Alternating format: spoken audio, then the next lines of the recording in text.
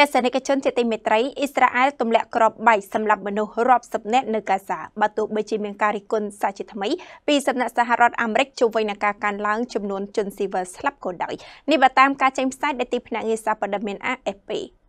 ក្រុមមន្ត្រីនៅក្នុងតំបន់ហ្គាហ្សាបាននិយាយថាជនជាតិប៉ាឡេស្ទីនរាប់សិបនាក់ត្រូវបានសម្លាប់នៅក្នុងការវាយប្រហារតាមផ្លូវអាកាសបីដាច់ដោយឡែកពីគ្នាខណៈអ៊ីស្រាអែលបង្កើនការវាយប្រហារបើទោះជាមានការរិះគន់ជាថ្មីពីសហរដ្ឋអាមេរិកជំវិញការកើនឡើងចំនួនជនស៊ីវិលស្លាប់ក៏ដោយនេះបើតាមការចេញផ្សាយដោយទីភ្នាក់ងារសារព័ត៌មាន AFP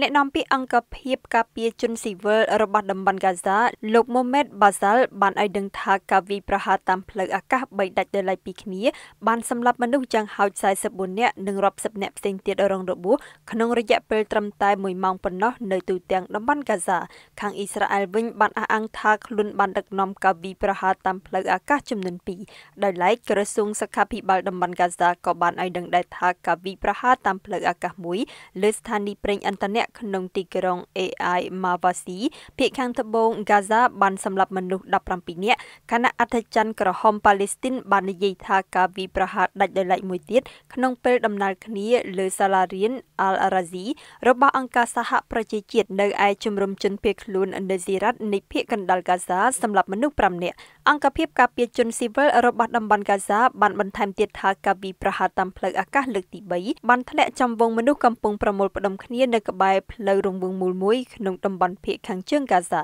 តែមិនបានផ្ដល់ព័ត៌មានលម្អិតនោះទេគូបញ្ជាក់ថាបើតាមអ្នកនាំពាក្យម្នាក់រដ្ឋមន្ត្រីការបរទេសអាមេរិកលោក Anthony Blinken បានប្រាប់មន្ត្រីជាន់ខ្ពស់អ៊ីស្រាអែលពីររូបពីការព្រួយបារម្ភជាខ្លាំងរបស់សហរដ្ឋអាមេរិកចំពោះការកើនឡើងចំនួនជនស៊ីវិលនៅក្នុងតំបន់ហ្គាហ្សាមកទល់ពេលនេះក្រសួងសុខាភិបាលហ្គាហ្សាបានអះអាងថាជនជាតិប៉ាឡេស្ទីន38713នាក់ហើយត្រូវបានសម្លាប់នៅក្នុងការវាយប្រហាររបស់អ៊ីស្រាអែលចាប់តាំងពីសង្គ្រាមផ្ទុះឡើងកាលពីថ្ងៃទី7ខែតុលាឆ្នាំ2023មក រីករាយជាមួយនឹង Flash Sale Promotion ពីបរិយ Mekongland ផ្ដល់ជូនយ៉ាងពិសេសត្រឹមតែខែកក្កដាតែប៉ុណ្ណោះ